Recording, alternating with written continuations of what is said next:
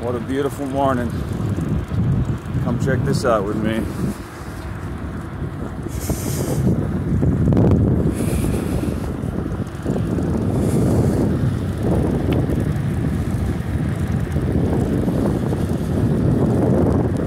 Just left Beaver. I noticed on some signs called the Beaver City. That's in Utah. I ain't never heard of it either, but I really love the town. Beautiful people there. Met two folks shortly after I arrived, the dentist, plus a bloke sitting on his porch, and they both sent me to the Delaney Motel. I asked them about local places to stay.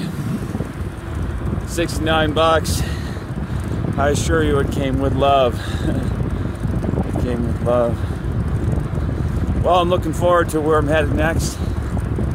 Into the great unknown. But first, two more stops. First one in Minersville, then Milford. And then it's 100 miles to Baker, Nevada. Should be interesting. Ciao, people.